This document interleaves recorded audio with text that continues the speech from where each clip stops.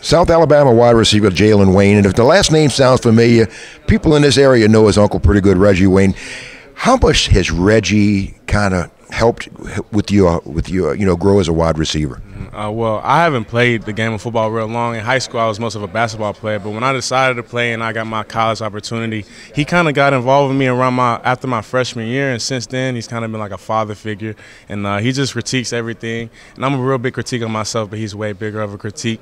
Just making sure I never feel satisfied, making sure I know there's always another objective to go after. He's just like a you know a guy to chase and a record book to chase, a number to chase to me. So it's always a pride thing with us, you know, just trying to be better than he is and play as big as he does. So it's, it's definitely good having him in my corner.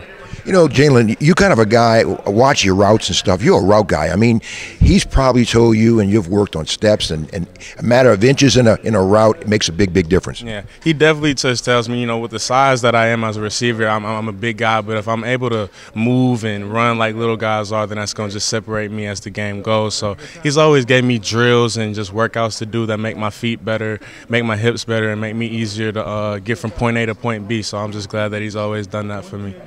You mentioned basketball. Basketball translates very well, especially to wide receiver. Yeah, uh, I definitely like basketball being in my uh, background because when the ball's in the air, I just feel like it's kind of like rebounding, you know, just coming down with it and always competing for the ball. So that's how it kind of correlates between the two for me.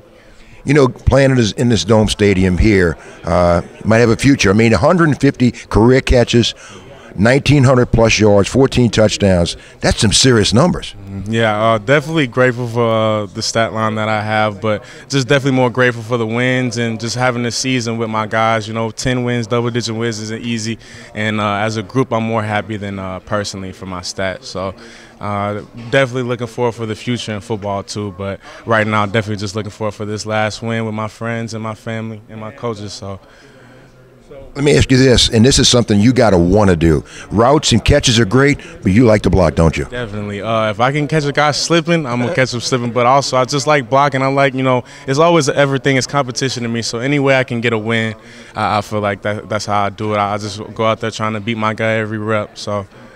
What's what's the uh, you, you and Carter have a pretty good relationship. What's the goal for this game coming up against Western Kentucky, and and uh, talk a little bit about this offense. Mm-hmm. Uh, the goal for this game is just you know just to play to our standard, play above our standard, and just keep trying to you know beat down on the uh, on the trajectory of this program that we've definitely lifted upward. So uh, that's the first goal. And as far as Carter, me have a great relationship. Uh, just having fun, just getting open for him, giving him open lanes to run. I mean, throw the ball to, and uh, just being just being open and scoring touchdowns for him and having fun is really what we just give to the team.